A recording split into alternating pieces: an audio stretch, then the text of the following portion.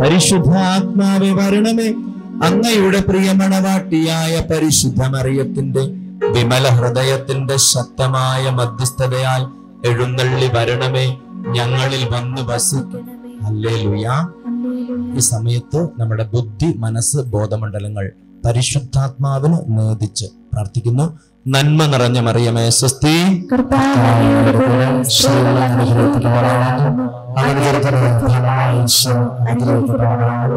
പരിശുദ്ധ മറിയമേ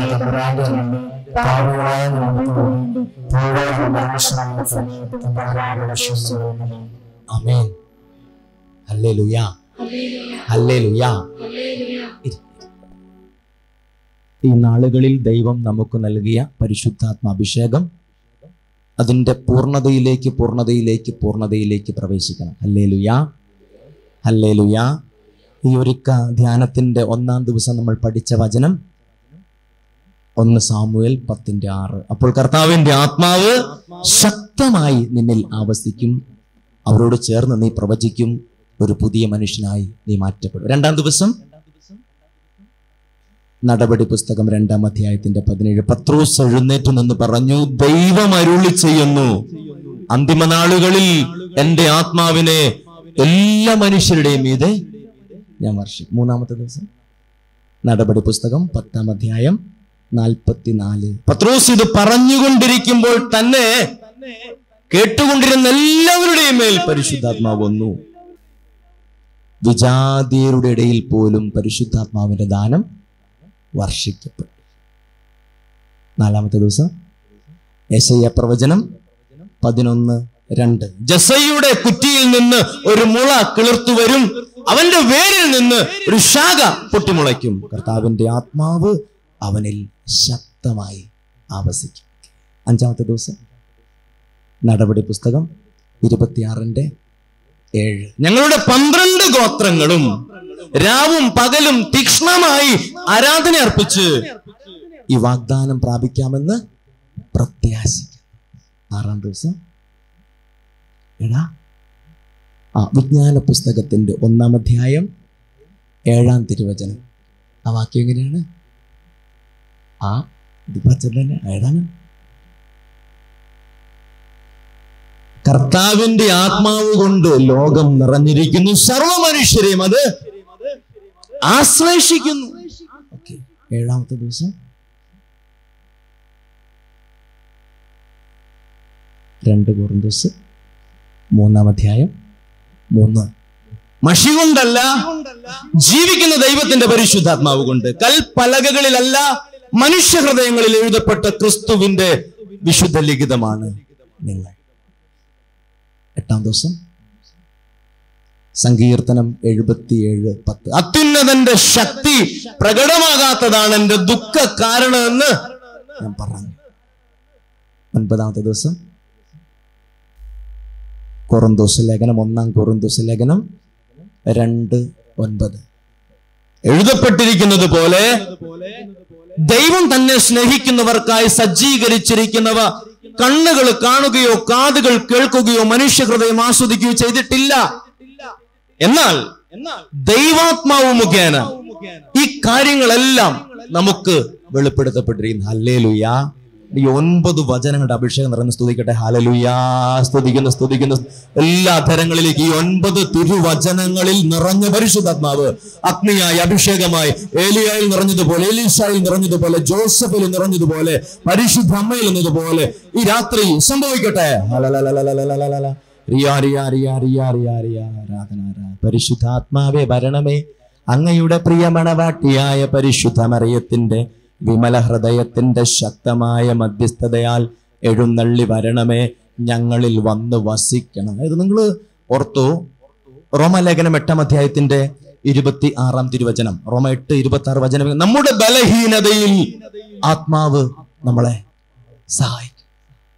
നിന്റെ അതിബുദ്ധിയിലല്ല നിന്റെ അഹങ്കാരത്തിലല്ല നിന്റെ ദാഷ്ട്യത്തിലല്ല ധിക്കാരത്തിലല്ല പാപത്തിലല്ല. നിന്റെ ബലഹീനതയിൽ നിന്റെ നിഷ്കളങ്കതയിൽ നിന്റെ നിസ്സഹായതയിൽ നിന്റെ കൽപ്പക്ഷയങ്ങളിൽ കർത്താവിന്റെ ആത്മാവ് നിന്നെ സഹ അതുകൊണ്ടാണ് പരിശുദ്ധാത്മാവിന് വേണ്ടി ഉദാഹരണം പത്രോസിയുടെ ഒന്ന് ഒന്ന് പത്രോസ് രണ്ടിന് രണ്ട്. ആ തിരുവചനം എങ്ങനെയാണ് കർത്താവിന്റെ രക്ഷയ്ക്ക് വേണ്ടി രക്ഷയുടെ ദിനത്തിനു വേണ്ടി പൈതങ്ങൾ പാലിന് പോലെ എന്നതുപോലെ പാലിന് വേണ്ടി പൈതങ്ങൾ എന്ന പോലെ ദാഹിക്കുന്ന എന്ന് വെച്ചാൽ ഈ കുഞ്ഞു പിള്ളേർ അമ്മയുടെ പുറകെ നടക്കുന്നത് പോലെ ആത്മാവേ നിറയണമേ എന്ന് ആ കുഞ്ഞു മനസ്സിന്റെ നിഷ്കളങ്കതയിൽ പ്രാർത്ഥിക്കണം. അല്ലേ ലുയാ സങ്കീർത്തനം അൻപത്തി ഒന്നിന്റെ പതിനൊന്നിൽ ദാവീദ് പ്രാർത്ഥിച്ചത് അങ്ങയുടെ പരിശുദ്ധാത്മാവിനെ എടുത്ത് കളയല്ലേ? ഈ പെരുന്നാളിനൊക്കെ പിള്ളേരെയും കൊണ്ട് കടയിൽ കൂടെ പോകുമ്പോൾ എനിക്കും അത് മേടിച്ചു തരണമെന്ന് പറഞ്ഞ് പിള്ളേർ കരയണമല്ലേ? ദാവീദ് പൊട്ടിക്കരയാണ്. വേറെ എല്ലാ എടുത്താലും കുഴപ്പമില്ല. പരിശുദ്ധാത്മാവിനെ എടുത്ത് കളയല്ലേ? അല്ലേ ലുയാ ഈ രാത്രി നമ്മൾ ഒന്ന് മാത്രമേ ആഗ്രഹിക്കുന്നുള്ളൂ. അങ്ങയുടെ പരിശുദ്ധാത്മാവിനെ ഈ ദേശത്ത് നിന്ന് ഈ ദേശത്ത് അധിവസിക്കുന്ന മക്കളിൽ നിന്ന് എടുത്തു കളയല്ലേ? Hallelujah hallelujah. ഹല്ലേലുയാ. അത് ഈ കാലഘട്ടത്തിൽ തിരുസഭ മുഴുവൻ ധ്യാനിക്കുന്ന ഏക വിഷയം പന്തക്കുസ്തിയാണ്. അത് തിരുവനന്തപുരത്തല്ല കോഴിക്കോടല്ല കാസർഗോഡല്ല കണ്ണൂരല്ല അണക്കരയിലല്ല എവിടെ എവിടെ? പരിശുദ്ധാത്മാവ് പരിശുദ്ധാത്മാവ് പരിശുദ്ധാത്മാവ് അങ്ങനെ ഒരൊറ്റ ലക്ഷ്യത്തിലേക്ക് ദൈവജനം ഇങ്ങനെ അപൂർവമായി ഒരുമിച്ച് കൂട്ടപ്പെട്ട കാലത്താണ് നമ്മൾ അധിവസിച്ചുകൊണ്ടിരിക്കുന്നത് അതുകൊണ്ട് തന്നെ ഒരു ഇത്തിരി ആത്മാഭിഷേകം അല്ല കുറച്ചുകൂടെ അല്ല. അതായത് എസ് കെയിൽ നാൽപ്പത്തി ഏഴ് ഒന്നിൽ നമ്മൾ കാണുന്ന പോലെ മുട്ടോളം അല്ല അരയോളം അല്ല. പ്രവാചകൻ ജെറുസലേം ദേവാലയത്തിന്റെ പൂമുഖപ്പടിയിൽ മുമ്പോട്ട് നോക്കുമ്പോ ഒരു നദി പുറപ്പെടുകയാണ്. ദേവാലയത്തിൽ നിന്ന് നീർച്ചാൽ ഒഴുകപ്പെടുകയാണ് ഏത് പുസ്തകമാണ്? എത്ര അധ്യായാണ്? സാമൂല എസക്കിയൽ. ആ ഒന്ന്. നദി പുറപ്പെട്ട് പുറപ്പെട്ട് ഈ പ്രവാചകം കാണാൻ മുട്ടോളം അല്ല അരയോളം അല്ല കുറച്ച് കഴിഞ്ഞപ്പോഴത്തേക്കും നീന്തിയിട്ട് കടക്കാൻ പറ്റാത്ത ആത്മപ്രവാഹം. അല്ലേലുയാ ലുയാ നിങ്ങൾ എത്രമാത്രം ആത്മാവിനോട് ദാഹിക്കുന്നോ? അവരുടെ ഇന്ന് പ്രഭാതത്തിൽ ബലിയർപ്പിച്ചുകൊണ്ടിരിക്കുമ്പോൾ അച്ഛൻ അങ്ങനെ ഒരു സന്ദേശം കർത്താവ് തോന്നുന്നു ഈ രാത്രി ആത്മാവിന് വേണ്ടി എത്ര പേര് ദാഹിക്കുന്നു? പത്രോസ് ഇത് പറഞ്ഞുകൊണ്ടിരിക്കും സ്തുതിക്കട്ടെ സ്തുതിക്കട്ടെ സ്തുതിക്കട്ടെ. ഹലലുയാ ഹലലുയാ സ്തുതിക്കുന്നു സ്തുതിക്കുന്നു സ്തുതിക്കുന്നു. സ്വരമുയർത്തി സ്വരമുയർത്തി. ഹലലുയാ ഇത് പറഞ്ഞുകൊണ്ടിരിക്കുമ്പോ തന്നെ ചിന്തകളിലേക്ക് പരിശുദ്ധാത്മാവ് ബുദ്ധിയിലേക്ക് പരിശുദ്ധാത്മാവ് നിറയട്ടെ നിറയട്ടെ. ഹലലുയാ ഹലലുയാ ഹലലുയാ ദാഹം ഉണ്ടാവണം ദാഹം. പരിശുദ്ധാത്മാവിന്റെ അഭിഷേകത്തിന് വേണ്ടി ഈ രാത്രി നിങ്ങൾ ദാഹിക്ക്. പന്തക്കുസ്ത തിരുനാളിന്റെ ഒരുക്ക ദിനത്തിന്റെ സമാപന നിമിഷങ്ങളാണ്. ഒരുമിച്ച് പറഞ്ഞേ ഹല്ലേ ലുയാ ഹല്ലേ ലുയാ ഹല്ലേ ലുയാ ഇങ്ങനെ അതായത് ഇപ്പൊ ഇപ്പൊ ഒരു ഉദാഹരണം പറഞ്ഞാൽ ഇപ്പൊ നമുക്കൊരു ചായ ഉണ്ടാക്കണം. എന്താണ് ഉണ്ടാക്കേണ്ടത്? ചായ ഉണ്ടാക്കണം. നമ്മുടെ കയ്യിൽ നല്ല ഒരു ഗ്ലാസ് ഉണ്ട് നമ്മുടെ കയ്യിൽ നല്ല ചൂടുവെള്ളം ഉണ്ട് നമ്മുടെ കയ്യിൽ ഒരു ടീ ബാഗ് ഉണ്ട് വെച്ചാൽ ട്രെയിനിലൊക്കെ പോകുമ്പോൾ ഇങ്ങനെ ഇട്ട് തരുന്ന സംഭവമില്ലേ? അങ്ങനത്തെ ചായയാണ് ഉണ്ടാക്കേണ്ടത്. ഒരുമിച്ച് പറഞ്ഞു അല്ലേ ലുയാ നമ്മൾ ശരിക്കും ആ ചൂടുവെള്ളം എടുത്ത് ഈ നല്ല ഗ്ലാസ്സിലേക്ക് ഒഴിച്ചിട്ട് ഈ ടീ ബാഗ് അതിലേക്ക് മുക്കിയാൽ ഒരു മിനിറ്റ് അങ്ങനെ പിടിച്ചുകൊണ്ടിരുന്നാൽ നമുക്ക് എന്ത് കിട്ടും? ചായ കിട്ടും. അത് വളരെ ലൈറ്റ് ചായയാണ്. രണ്ട് മിനിറ്റ് കൂടെ പിടിച്ചുകൊണ്ടിരുന്ന എന്ത് കിട്ടും? കുറച്ച് സ്ട്രോങ് നല്ല എന്താ പറയുക ഒരു തീവ്രതയുള്ള സ്വാദുള്ള ടേസ്റ്റുള്ള ആയി സുന്ദരമായ ഒരു ചായ കിട്ടും. ഒരുമിച്ച് പറഞ്ഞ അല്ലേ ലുയാ എന്ന് പറഞ്ഞ പോലെ ആത്മാവിനെ കിട്ടാനുള്ള ദൈവാരാധനയിൽ ആത്മാഭിഷേകത്തിന് വേണ്ടിയുള്ള പ്രാർത്ഥനയിൽ നിന്നെ തന്നെ ഇങ്ങനെ മുക്കി കുളിപ്പിച്ച് നിർത്തുമ്പോ അത് എത്രമാത്രം ശക്തമാണോ അതിനനുസരിച്ച്. അതാണ് നടപടി പുസ്തകം ഒന്നാം അധ്യായത്തിന്റെ പതിനാല് അവർ ഏക മനസ്സോടെ പരിശുദ്ധ അമ്മയോട് ചേർന്ന് പ്രാർത്ഥനയിൽ മുഴുകി. ലൂക്കാസ് വിശേഷം ഇരുപത്തിനാലിന്റെ അൻപത്തി മൂന്ന് അവർ സദാ ദൈവാലയത്തിൽ കഴിച്ചു നടപടി പുസ്തകം നാലാം അധ്യായത്തിന്റെ മുപ്പത്തി ഒന്ന് പ്രാർത്ഥന കഴിഞ്ഞപ്പോൾ അവർ സമ്മേളിച്ചിരുന്ന സ്ഥലം കുലുങ്ങി. അവരെല്ലാവരും പരിശുദ്ധാത്മ ഹല്ലേ ലുയാ ഹല്ലേ ലുയാ ഹല്ലേ ലുയാ ഇവിടുന്ന് നമ്മൾ സാധാരണ നൈറ്റ് വിജിലിൽ ധ്യാനിക്കുന്നത് പോലെ യോഹന്നാന്റെ സുവിശേഷത്തിന്റെ ഒൻപതാം അധ്യായമായിരുന്നു ധ്യാനിക്കേണ്ടത്. പക്ഷേ ഇന്ന് നമ്മൾ പന്തക്കുസ്തു ഒരുക്കമായതുകൊണ്ട് ഈ പത്ത് ദിവസത്തെ ധ്യാന ചിന്തകൾ കൂടെ തന്നെ മുമ്പോട്ട് പോകണം ഒരുമിച്ച് പറഞ്ഞ ഹല്ലേ ലുയാ ഈ സമയത്ത് തന്നെ പരിശുദ്ധാത്മാവിൽ നിറയാൻ വേണ്ടിയുള്ള ദാഹം തീവ്രമായ ഒരു അഭിലാഷം നിങ്ങളുടെ ഹൃദയത്തെ ഭരിക്കട്ടെ. ഒരുമിച്ച് പറഞ്ഞ ഹല്ലേ ലുയാ ഹല്ലേ ലുയാ നല്ല ബോധ്യമുണ്ട്. കുർബാന അർപ്പിച്ചുകൊണ്ടിരിക്കുമ്പോൾ തന്നെ ചിലരുടെ മുഖത്തേക്ക് നോക്കിയാൽ പരിശുദ്ധാത്മാവിന്റെ ഒരു തെളിച്ചുണ്ടായിരുന്നു ഹല്ലേ ലുയാ ഞാൻ രണ്ട് പ്രാവശ്യം നോക്കിയുള്ള രണ്ട് പ്രാവശ്യം എനിക്ക് ആ തെളിച്ചം കാണാൻ പറ്റും. ഹല്ലേ ലുയാ ഹല്ലേ ലുയാ അതുകൊണ്ട് ഇനി ഈ സമയത്ത് പരിശുദ്ധ പരിശുദ്ധാത്മാവ് ഒരു വ്യക്തിയെ ഏറ്റെടുത്താൽ പരിശുദ്ധാത്മാവ് ഒരു വ്യക്തിയുടെ ചിന്തയെ ഏറ്റെടുത്താൽ പരിശുദ്ധാത്മാവ് ഒരു വ്യക്തിയുടെ ബുദ്ധിയെ ഏറ്റെടുത്താൽ ആ വ്യക്തിയുടെ മുൻഗണന ക്രമങ്ങൾ മാറ്റപ്പെടും.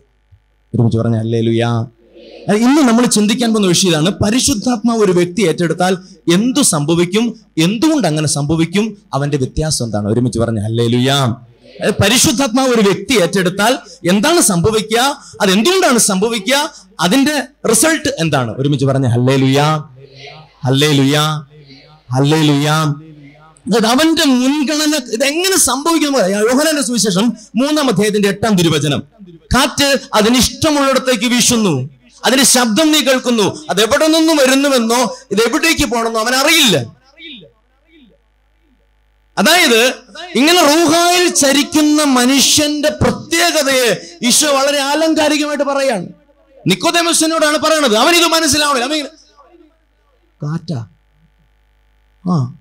ഒച്ചയൊക്കെ ഉണ്ട് എന്താ ഉദ്ദേശം? അതിനുശേഷം വീണ്ടും ജനിക്കണമെന്ന്. വീണ്ടും ജനിക്കണം. അതിപ്പോ എങ്ങനെയാണ്? ഇനിയിപ്പോ എങ്ങനെയാണ് വയറ്റിനകത്ത് കയറുന്നത് ഈ കൊച്ചു പിള്ളേരെ കൊണ്ടൊക്കെ യാത്ര പിള്ളേർ ചോദിക്കില്ലേ? ഇപ്പം ഉദാഹരണത്തിന് ഈ അവധിക്കാലത്ത് അമ്മ വീട്ടിൽ പോയി. എപ്പോഴാണ് പോയത്? എവിടെയാണ് പോയത്? അമ്മ വീട്ടിൽ. അപ്പോൾ ആന്റി അമ്മ അമ്മയുടെ വീട്ടിൽ ആന്റീനെ കൊണ്ടുവന്നിട്ടുണ്ട്. ആരെയാണ് കൊണ്ടുവന്നത്? ആന്റി പ്രഗ്നന്റ് ആണ്. എന്താണ്? എന്നുവെച്ചാൽ ഏഴ് മാസമായി ഇങ്ങനെ ആന്റി ഇങ്ങനെ റെസ്റ്റ് എടുത്തുകൊണ്ടിരിക്കുന്ന സമയമാണ് ഇപ്പം എല്ലാവരും മൊത്തം റെസ്റ്റ് എന്ന് വെച്ചാൽ അത് ഏഴ് മാസമായപ്പോഴാണ് ആന്റിക്ക് റെസ്റ്റ് എടുക്കാൻ തോന്നിയത്. ഒരു വെച്ച് പറഞ്ഞാൽ അല്ലേ ലുയാ അപ്പോൾ ഈ കൊച്ചു നോക്കുമ്പോൾ ആന്റിക്ക് ഭയങ്കര തടി. കൊള്ളാലോ. നമ്മളിവിടെ ബൂസ്റ്റ് അടിച്ചിട്ട് നമുക്ക് ഇത്ര തടിയില്ല. എന്നാലും ഈ ആന്റി എന്നെ അത്തിനാണ് കൊച്ചു രണ്ടു ദിവസം പോയി നോക്കി. ആന്റി എന്താണ് കഴിയും പഴങ്കഞ്ഞ. ഓ പഴങ്കഞ്ഞിക്ക് ഇത്ര ഉണ്ട് അപ്പോൾ കൊച്ചു അമ്മയോട് ചോദിച്ചു അമ്മ ആന്റി വേറെന്തോ കഴിക്കുന്നുണ്ട്. അമ്മ പറഞ്ഞു അങ്ങനെയൊന്നും കഴിക്കണില്ല. ആന്റിയുടെ വയറ്റിൽ വാവയുണ്ട്. എന്താണുള്ളത്? വാവ? ആ. അപ്പൊ വാവൻ ഇനി എപ്പോഴാ പുറത്ത് കിട്ടാ അമ്മ പറഞ്ഞു കുറച്ചാൾ വെയിറ്റ് ചെയ്യാൻ പറഞ്ഞു അപ്പൊ കൊച്ചു ചോദിച്ചു അതെങ്ങനെ വരിക അപ്പൊ അമ്മ പറഞ്ഞു ആ ഡോക്ടർ സഹായിക്കും പേടിക്കുന്നു അപ്പൊ ഡോക്ടർ അതിനകത്തുണ്ടാ? കൊച്ചിന് ഇതൊന്നും പിടിയിട്ടുന്നില്ല നിക്കോദേമസ് ഇതിങ്ങനെ ഒന്നും മനസ്സിലാവാണ്ട് ഇങ്ങനെ മിഴിച്ചു നിൽക്കാണ് പശു വിമാനം കണ്ടോ വിശ പറഞ്ഞു കാറ്റ് അതിനിഷ്ടമുള്ളിടത്തേക്ക് വീശും. അതിന്റെ ശബ്ദം കേൾക്കുകയും ചെയ്യും. പക്ഷെ ഇത് വന്നതോ പോയതോ ആത്മാവിൽ നീങ്ങുന്ന മനുഷ്യന്റെ മുൻഗണന ക്രമങ്ങൾ മാറ്റപ്പെടും. അവൻ പോലും അറിയില്ല. ഇതെങ്ങോട്ട് പോകണം? നടപടി പുസ്തകം പരിശുദ്ധാത്മാവിന്റെ സുവിശേഷം നിങ്ങൾ വായിച്ചാൽ നിങ്ങൾക്ക് ഇത് വളരെ വ്യക്തമായിട്ട് മനസ്സിലാകും. കുറച്ചുകൂടി മനസ്സിലാകണമെങ്കിൽ ഫിലിപ്പി ലേഖനം മൂന്നാം അദ്ദേഹത്തിന്റെ എട്ട്. ഫിലിപ്പി ലേഖനം പൗലൂസ് തടവറയിൽ കിടന്ന് എഴുതുമ്പോ പൗലൂസ് ലിഹ അവന് അർഹമായിരുന്ന അവകാശങ്ങളെ കുറിച്ച് വാദിക്കുകയാണ്. പൗലൂസ് പറയാണ് നിങ്ങൾക്കറിയോ? ഞാൻ ഹെബ്രായൻ ജനിച്ച ഹെബ്രായനാണ്. ബെഞ്ചമിൻ ഗോത്രത്തിൽ പിറന്നവനാണ്. ഇസ്രായേൽ വംശത്തിൽ പിറന്നവനാണ്. അഗാധ പാണ്ഡിത്യം നിറഞ്ഞവനാണ്. പക്ഷെ അടുത്ത വാക്യം എട്ടാം വാക്യം. യേശു ക്രിസ്തുവിനെ കുറിച്ചുള്ള ജ്ഞാനം കൂടുതൽ വിലയുള്ളതായി കണ്ടതിനാൽ അവയെല്ലാം ഉച്ചിഷ്ടം പോലെ കരുതി. ആത്മാവ് എന്നൊരു കൃപ അവനിൽ ആവശിച്ചപ്പോ അന്നുവരെ അവൻ വിലയുള്ളതായി കരുതിയ പരിശയ സ്ഥാനം അവന്റെ പാണ്ഡിത്യം അവന്റെ കുലം വംശമഹിമ ഇതെല്ലാം വെറും ഉച്ചിഷ്ടമാണ് നമ്മൾ ചിലപ്പോൾ ഒരു ഡോക്ടറായിരിക്കും ചിലപ്പോൾ ഒരു എഞ്ചിനീയർ ആയിരിക്കും അതല്ലെങ്കിൽ അധ്യാപകനായിരിക്കും അതല്ലെങ്കിൽ ചിലപ്പോൾ പത്തേക്കർ സ്ഥലം ഉണ്ടായിരിക്കും അതല്ലെങ്കിൽ നല്ലൊരു ബാങ്ക് ബാലൻസ് ഉണ്ടാകും. ഇനി അതൊന്നും ഇല്ലെങ്കിലും ചിലപ്പോൾ നല്ല ഡ്രസ്സും കാര്യങ്ങളൊക്കെ ഉണ്ടാകും. പക്ഷെ ക്രിസ്തുവിനെ കുറിച്ചുള്ള ജ്ഞാനത്തിന്റെ ആത്മാവ് ഒന്നിന് നിറഞ്ഞാൽ ഇതെല്ലാം മാറ്റപ്പെടുന്നു അവന്റെ മുൻഗണന ക്രമങ്ങൾ മാറുകയാണ്. ആത്മാവിന്റെ ഒരു തരി നിന്നിൽ ആവസിച്ചാൽ പിന്നെ നിന്റെ മുൻഗണന ക്രമങ്ങൾ ഇതൊന്നും ലോകത്തേക്ക് നോക്കിയിരുന്നവൻ പിന്നെ ലോകത്തേക്ക് നോക്കില്ല. കാരണം റോമലേഖനം എട്ടാം അധ്യായം എട്ടാം തിരുവചനം ലോകത്തിൽ മുഴുകിയിരിക്കുന്നത് ദൈവത്തിന്റെ ശത്രുവാണ്. ഇത്രയും കാലം നീ ടെലിവിഷൻ കണ്ട് ഇങ്ങനെ വർത്താനം പറഞ്ഞ് നോക്കിയൊക്കെ അങ്ങനെ ഇരുന്നെങ്കിൽ ഇപ്പൊ നീ അത് മാറ്റി മൊബൈൽ ഫോൺ മാറ്റി ഗെയിംസ് മാറ്റി ബൈബിൾ വായിക്കണം. എല്ലാ ദിവസവും നമ്മളിങ്ങനെ മട്ടൻ ബിരിയാണി കഴിച്ച് കഴിച്ച് കഴിച്ച് കഴിച്ച് കഴിച്ച് ഇരുന്നെങ്കിൽ ആത്മാവ് നിറഞ്ഞ പിന്നെ മട്ടൻ ബിരിയാണി ഒന്നുമില്ല ഉപവാസം പ്രാർത്ഥന. അവന്റെ മുൻഗണനകൾ മാറുകയാണ്. എന്തുകൊണ്ട് ഇങ്ങനെ സംഭവിക്കും? ഒരുമിച്ച് പറഞ്ഞ അല്ലേ ലുയാ അല്ലേ ലുയാ അല്ലേ ലുയാ എന്തുകൊണ്ടാണ് ഇത് സംഭവിക്കുക? അതാണ് നമ്മൾ വായിച്ച വചനം കോറിന്തോസ് ലേഖനം ഒന്നാം കോറിന്തോസ് ലേഖനത്തിന്റെ രണ്ടാം അധ്യായത്തിന്റെ ഒൻപത്. ദൈവം തന്നെ സ്നേഹിക്കുന്നവർക്ക് വേണ്ടി സജ്ജമാക്കിയിരിക്കുന്നത് മനുഷ്യ മനസ്സ് ഗ്രഹിക്കുകയോ കണ്ണുകൾ കാണുകയോ കാതുകൾ കേൾക്കുകയോ ചെയ്തിട്ടില്ല എന്നാൽ ദൈവാത്മാവ് മുഖേന ഇത് വെളിപ്പെടുത്തപ്പെടും. എന്ന് വെച്ചാൽ ദൈവം തന്നെ സ്നേഹിക്കുന്നവർക്ക് വേണ്ടി ചിലത് ക്രമീകരിച്ചിട്ടുണ്ട്. അത് നിന്റെ കണ്ണിന് അഗ്രാഹ്യമാണ് നിന്റെ കാതിന് അഗ്രാഹ്യമാണ് നിന്റെ മനസ്സിന് അഗ്രാഹ്യമാണ്. പക്ഷേ സ്വർഗത്തിന്റെ ഒരു തരി ദർശനം കിട്ടിയാ പിന്നെ നിന്റെ ജീവിതം ഇതുപോലെ ആയിരിക്കില്ല. പരിശുദ്ധാത്മാവിന്റെ അഭിഷേകത്തിന്റെ അംശം നിന്നെ സ്പർശിച്ചാൽ പിന്നെ ജീവിതം മാറ്റപ്പെടുന്നു ആണ് റോമാലേഖനം എട്ടാം അധ്യായത്തിന്റെ പതിനെട്ട്. റോമ എട്ടിന്റെ പതിനെട്ടിൽ പോലീസ് പറയണം വരാനിരിക്കുന്ന മഹത്വത്തോട് തുലനം ചെയ്യുമ്പോ ഇന്നത്തെ കഷ്ടതകളൊക്കെ നിസ്സാരമായിട്ട്. കാരണം അവൻ കാണേണ്ടത് കണ്ടു. പിന്നെ ഇപ്പോൾ ഉള്ളത് പ്രശ്നമല്ല. യോഹനന്റെ സുവിശേഷം പതിനാറാം അധ്യായം ഇരുപത്തിരണ്ട്. അന്ന് നിങ്ങൾ എന്നോട് ഒന്നും ചോദിക്കില്ല. അന്ന് നിങ്ങളുടെ സന്തോഷം ആരും എടുത്തു കളയില്ല. ഒരുമിച്ച് പറഞ്ഞ ഹല്ലേ ലുയ്യ അതായത് വരാനിരിക്കുന്ന കാര്യങ്ങൾ നിനക്ക് വെളിപ്പെടുത്തി തരാൻ നിനക്കൊരു പരിശുദ്ധാത്മാവുണ്ട് ആശ്വാസദായകനുണ്ട്. അപ്പൊ അങ്ങനെയെങ്കിൽ ആത്മാവിന്റെ ചലനം നിന്നിൽ സംഭവിച്ചാൽ അതിശക്തമായ ഒരു അഭിഷേകത്തിലേക്ക് നീ നിറയപ്പെടും അതോടുകൂടി നിന്റെ മുൻഗണന ക്രമങ്ങൾ ഇങ്ങനെ മാറ്റപ്പെടും. ഒരുമിച്ച് പറഞ്ഞേ ഹല്ലേ ലുയാ ഹല്ലേ ലുയാ നമുക്കിത് കിട്ടാത്തത് കൊണ്ടാണ് നമുക്കിത് മനസ്സിലാകാത്തത് കൊണ്ടാണ് നമ്മുടെ ജീവിതം ഇങ്ങനെ പഴയപടി നിൽക്കുന്നത് ആത്മാവിൽ നിറഞ്ഞൊരു മനുഷ്യന്റെ അഭിഷേകം നിങ്ങൾ ധ്യാനിച്ചു നോക്കി അവന് പിന്നെ അതുവരെ അവൻ സ്വന്തമായി കരുതിയതൊന്നും സ്വന്തമായിട്ടല്ല. ഞാൻ ദിവസങ്ങളിൽ ഒരു അൾഷിമേഴ്സ് ബാധിച്ച് പതിമൂന്ന് കൊല്ലമായി ഇങ്ങനെ കടന്ന കടപ്പ് കിടക്കുന്ന ഒരു അമ്മയ്ക്ക് വേണ്ടി പ്രാർത്ഥിക്കുന്നു. പ്രാർത്ഥന കഴിഞ്ഞ് തിരിച്ചു പോന്നു. മാറ്റമൊന്നുമില്ല. കിടപ്പാണ്. പക്ഷെ ഈ ദിവസങ്ങളിൽ ആ അമ്മയെ പരിചരിക്കുന്ന നമ്മുടെ മകൾ ഇവിടെ വന്നു. മകൾ എന്നോട് പറഞ്ഞു അച്ഛാ നമ്മുടെ മുഖത്ത് നല്ല പുഞ്ചിരിയാണ് എപ്പോഴും. പലപ്പോഴും അമ്മയ്ക്ക് ബോധമില്ല. അമ്മയ്ക്ക് ഓർമ്മയൊന്നുമില്ല. പക്ഷേ അമ്മയുടെ മുഖത്ത് നല്ല തെളിച്ചാണ് ഇന്നലെ രാവിലെ ഞാൻ അമ്മയ്ക്ക് കാപ്പി കൊടുക്കാനായിട്ട് ഇതെല്ലാം എടുത്ത് സ്പൂണിൽ ഇങ്ങനെ എടുത്തുകൊണ്ടിരിക്കുമ്പോൾ അമ്മ പറഞ്ഞ് മോളെ അടുക്കളയുടെ വാതിൽ തുറന്നാണ് നടക്കുന്നത് തുറന്നാണ് തുറന്നു? ഒന്ന് പെട്ടെന്ന് അവിടെ വരച്ച് അപ്പോൾ അവൾ പറഞ്ഞു ഇപ്പൊ എന്താ തുറന്നെടുക്കുന്നതിന് ഇപ്പൊ എന്താ കുഴപ്പം? കൊഴിയുന്നില്ല നമുക്ക്. നോക്ക്. അവൾ ചെല്ലുമ്പോൾ അടുക്കളയുടെ വാതിൽ ഒരു വലിയ പാമ്പ് കിടക്കും. പെട്ടെന്ന് വടിയിലെടുത്ത് ആളെ കൂട്ടി അതിനെ തല്ലിക്കൊന്നു. അവൾ വീണ്ടും അമ്മയ്ക്ക് ബ്രേക്ക്ഫാസ്റ്റ് അടിച്ചില്ലാണ് അമ്മ ചോദിച്ചു പാമ്പിനെ കൊന്നോ? അമ്മ എങ്ങനെ അറിഞ്ഞു? കാണാൻ പാടില്ലാത്തത് കാണാൻ പറ്റുന്ന കുറേ മനുഷ്യർ ഇവിടെയുണ്ട്. ഒരുമിച്ച് പറഞ്ഞ ഹല്ലേ ലുയാ പതിമൂന്ന് കൊല്ലമായിട്ട് ഒരു വീടിന്റെ മൂലയ്ക്ക് എനിക്കറിയാം ആ വീടിന്റെ അമ്മ കിടക്കുന്ന മുറി എവിടെയാണ് അടുക്കള ഏത് ഭാഗത്താണ് ഓട്ടോ പിടിച്ച് പോകേണ്ട ദൂരമൊക്കെ ഉണ്ട്. പക്ഷേ ഈ അമ്മയ്ക്ക് വെളിപ്പെടുത്തപ്പെടുകയാണ്. ഞാൻ പറഞ്ഞത് ദൈവം നമുക്ക് വേണ്ടി സജ്ജമാക്കിയിരിക്കുന്നത് നിനക്ക് കാണാൻ പാടില്ലാത്തത് കാണാനുള്ള കൃപ. പൗലോസ് അതാണ് ജീവിതത്തിന്റെ പ്രതിസന്ധി ഘട്ടങ്ങളിൽ ദൈവത്തെ മറന്ന് വിശ്വാസത്തെ വെടിഞ്ഞ് ജീവിക്കുന്ന മനുഷ്യരുടെയിലേക്ക് ചേക്കേറി കഴിഞ്ഞപ്പോ അവരോടാണ് പൗലോസ് ഇത് പറയണത് ദൈവം നമുക്ക് വേണ്ടി ചില കാര്യങ്ങൾ ഒരുക്കിയിട്ടുണ്ട്. ആ കാര്യങ്ങൾ നമ്മുടെ കണ്ണിന് കാണാൻ പറ്റുന്നില്ല. കാതിന് കേൾക്കാൻ പറ്റുന്നില്ല നിന്റെ മനസ്സുകൊണ്ട് ഇത് മനസ്സിലാക്കാൻ പറ്റുന്നില്ല. പക്ഷേ പരിശുദ്ധാത്മാവ് നിറഞ്ഞാൽ സ്വർഗത്തിന്റെ തരി നിന്നിൽ ആവസിച്ചാൽ ഇതുപോലെ ആയിരിക്കില്ല.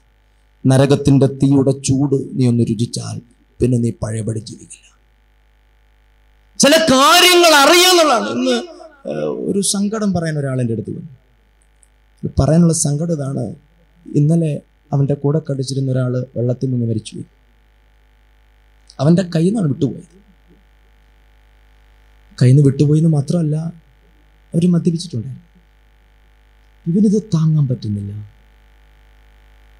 പിന്നവൻ നിറച്ച് വിറച്ച് ഇവിടെ വന്നിട്ട് കരഞ്ഞ് ഒരു നല്ല കുമ്പസാരം നടത്തിയപ്പോൾ അവൻ പറഞ്ഞു എന്റെ ചങ്ങാതി പ്രതി ഇനി ഞാൻ.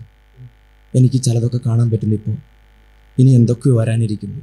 മനുഷ്യ അടുത്ത അടുത്ത വാക്യം രണ്ടാം അധ്യായത്തിന്റെ ഒൻപത് പത്ത് പതിനൊന്ന്. മനുഷ്യന്റെ അന്തർഗതങ്ങൾ മനുഷ്യാത്മാവല്ലാതെ ആരാണറിയ മനുഷ്യന്റെ അന്തർഗതങ്ങൾ മനുഷ്യാത്മാവ് അറിയുന്നെങ്കിൽ ദൈവത്തിന്റെ ചിന്ത ദൈവാത്മാവ് അടുത്ത വാക്യം ദൈവാത്മാവ് അറിയുന്നു ഈ ദൈവാത്മാവ് നിന്റെ മനസ്സിലേക്ക് ദൈവത്തിന്റെ ചിന്തകൾ നിക്ഷേപിച്ചാൽ സ്വർഗത്തിന്റെ അഭിഷേകം നിന്റെ ഉള്ളിൽ വരുമെന്ന് ഒരുമിച്ച് പറഞ്ഞേ ഹല്ലേ ലുയാം ഹല്ലേ ലുയാം അത് ഞാൻ പറഞ്ഞത് ആത്മാവ് ആവസിക്കുമ്പോ വരാനിരിക്കുന്ന കാര്യങ്ങൾ അവൻ നിന്നെ അറിയിക്കുമെന്ന് പറഞ്ഞ ക്രിസ്തുവിന്റെ വചനം നിറവേറ്റപ്പെടുന്നു. അങ്ങനെ ആത്മാവിന്റെ കൃപ കിട്ടിക്കഴിഞ്ഞാൽ സത്യമായും ഈ ലോകത്തിന്റെ താല്പര്യങ്ങൾ നിനക്ക് താല്പര്യമല്ലാതായി മാറും. ഒരുമിച്ച് പറഞ്ഞേ ഹല്ലേ ലുയാം ഹല്ലേ ലുയാ ഇനി അതിന്റെ കൂടെ സംഭവിക്കുന്ന രണ്ടാമത്തെ കാര്യം അങ്ങനെ ഒരു അഭിഷേകം കിട്ടിയവന്റെ കൂടെ ആരൊക്കെ ജീവിക്കണുണ്ടോ അവരെല്ലാം അഭിഷേകം പ്രാപിക്കും. ഒരുമിച്ച് പറഞ്ഞേ ഹല്ലേ ലുയാ ആത്മാവിൽ നിറഞ്ഞൊരു മനുഷ്യൻ ഒരു മകൻ ഒരു വീട്ടിലുണ്ടോ അവന്റെ ആ സ്ഥാനം അവന്റെ സാന്നിധ്യം കൊണ്ട് ആ കൂടെയുള്ളവർ അനുഗ്രഹിക്കപ്പെടും. ഫിലമോൻ എഴുതിയ ലേഖനത്തിന്റെ ഏഴാം വാക്യം. ഓലോ സ്ലീഹ ഫിലമോൻ എഴുതിയ ലേഖനത്തിന്റെ ഏഴാം വാക്യം. പൗലൂസ് പറയാണ് പ്രിയ സഹോദര നിന്റെ സാന്നിധ്യത്തിൽ വിശുദ്ധർ ഉന്മേഷഭരിതരായി. നിന്റെ സാന്നിധ്യം കൊണ്ട്. അതായത് ഫിലം ആരാണ് ഫിലമോൻ? നമ്മൾ അത് പഠിച്ചില്ലല്ലേ കൊറന്തോസ് പഠിച്ചുകൊണ്ടാണ് ഞാൻ കൊറന്തോസിനെ കുറിച്ച് വ്യാഖ്യാനിക്കാൻ ഫിലമോൻ എഴുതിയ ലേഖനം അതായത് പൗലോസ് ലീഗ എ ഡി അറുപത്തൊന്ന് അറുപത്തിരണ്ട് വർഷങ്ങളിൽ റോമായിലെ തടവിൽ കിടക്കുകയാണ്. കാരാഗ്രഹത്തിലാണ് അവൻ കിടക്കുന്നത് അവിടെ കിടക്കുമ്പോൾ പൗലോസ് ലിഹയ്ക്ക് ഒരു പ്രത്യേക ദൈവാനുഭവം ഉണ്ടായി. പൗലോസ് ലിഹ തടവറെ കിടന്നുകൊണ്ട് തടവറെ കിടക്കുന്നവരോട് വചനം പറയാം. മരണം വരെ വചനം പറയും. അങ്ങനെ പറഞ്ഞുകൊണ്ടിരിക്കുമ്പോ ഒരു ഭിക്ഷക്കാരനെ പോലെ കീറിപ്പിഞ്ചിയ വസ്ത്രം ധരിച്ച് ഭയന്ന് വിറച്ചന്താളിച്ച് ഒരു മനുഷ്യൻ അങ്ങോട്ട് കയറി വന്നു. എവിടെയാണ് സ്ഥലം? റോമായിൽ. റോമായിൽ ജയിലിൽ. രാത്രിയിലാണ് സംഭവം. ഒരാളിങ്ങനെ ഭയന്ന് ഉറച്ച് പൗലോസിന്റെ അടുക്കൽ വന്ന് മുട്ടുകുത്തി. പൗലോസ് ചോദിച്ചു ആരാണ്?